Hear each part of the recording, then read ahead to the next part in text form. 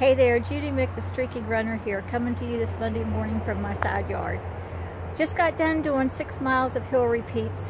I'm a little tired. It's uh, about 72 degrees and about 93% humidity, but needed to get it done today. Got it done, I'm glad I did. It's been a while since I've done my Monday motivation videos and I uh, wanted to get back to doing those for you all. Today I'm going to give you a quote that I know I've, I've done before but it's something that's important to me. It's a quote that I've, one of my major quotes, in fact, so much so that my husband bought me this huge um, print that I have in the bedroom that I just love. And this quote is, the race is not always to the swift, but to those that keep on running. And that's so true. I mean, in everything you do in life, but especially with your running. The important thing is never to quit. You're going to go through some times where your running's not going great. You just need to persevere, get through it, and get it done.